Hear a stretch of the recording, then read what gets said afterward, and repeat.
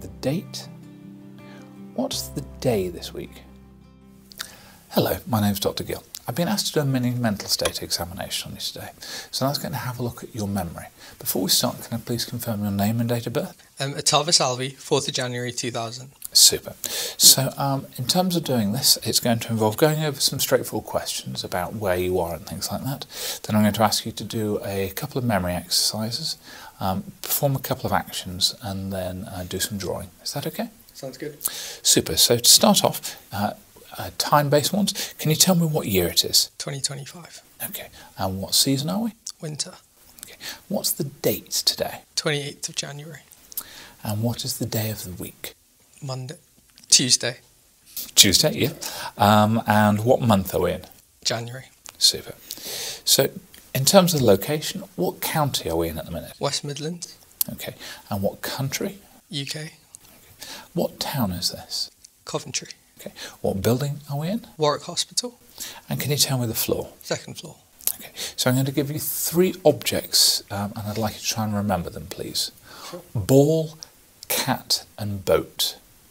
Okay. Can you repeat those back to me? Ball, cat, boat. Superb. So keep those in your head. We're going to come back to them. How's your maths normally? Good.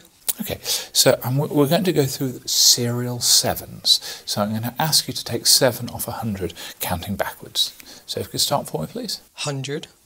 93. 86. 79.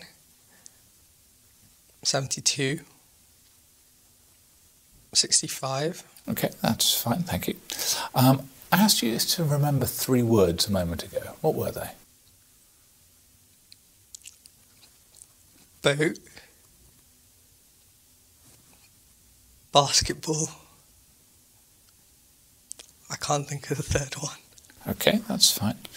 Um, can you please tell me what these are? Glasses. Okay, and what is this? Pen.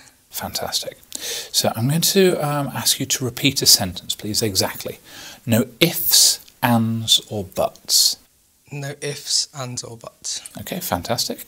Um, I'm going to ask you to take this and put in your right hand and put it on your left side, please. Thank you. Pass it back. Um, I'm going to show you a, an instruction and I'd like you to um, please follow it.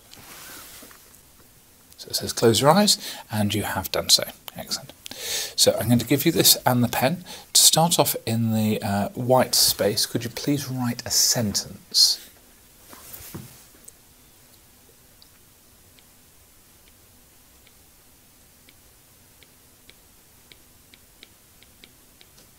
Okay, so you've written I am awake, that's fine. Um, next to it, we can see there's two intersecting shapes here. Could you please copy them in this space?